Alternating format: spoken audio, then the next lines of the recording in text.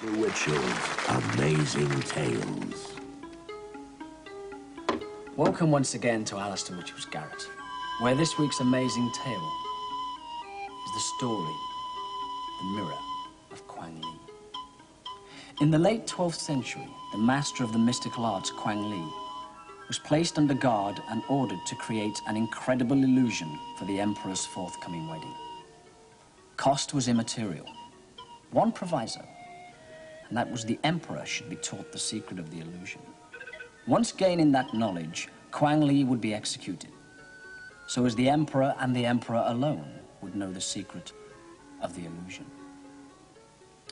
The morning before the wedding, Kwang Lee was brought before the emperor. The guards were dismissed, leaving the two of them alone. The emperor demanded to see his gift. Kwang Lee slowly unveiled. The emperor was obviously furious, for he had expected some incredible, mystical illusion, and all that was before him was just a small, hand-painted mirror. Kwang Lee ignored the threats and proceeded to reach in the air and produce a small ball. He then held one hand in front of the mirror and one hand behind, and then the illusion became reality. He then took the small ball and held it in front of the mirror. Slowly, it started to move and stick and diminish into the solid face of the mirror until nothing remained.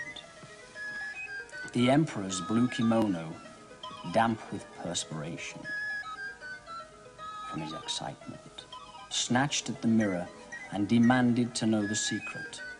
Kwang Lee said, Look into the mirror. Look deeply into the mirror. He did so.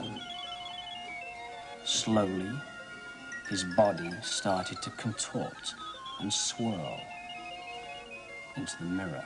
His whole being was being sucked in to the solid face of the mirror.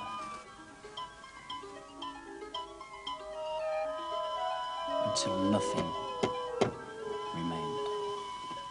Kwang Lee smiled, for he had only done as he was asked, and that was for the emperor and the emperor alone to know the secret